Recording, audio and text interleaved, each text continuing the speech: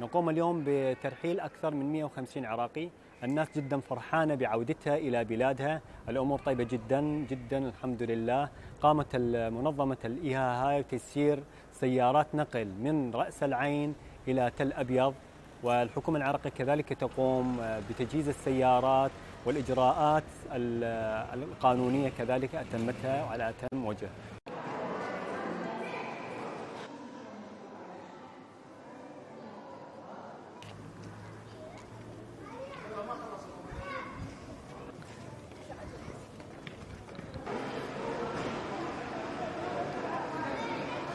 لجأنا لسوريا ومن سوريا. يعني تنقلنا من منطقة لمنطقة لحد ما وصلنا منطقة رأس العين. صارت بها رحلات أنه ترجع للعراق. فسجلنا برحلة وانقبلنا. انقبلنا أنه نرجع لديارنا ولبيوتنا ولأهالينا ولأقاربنا.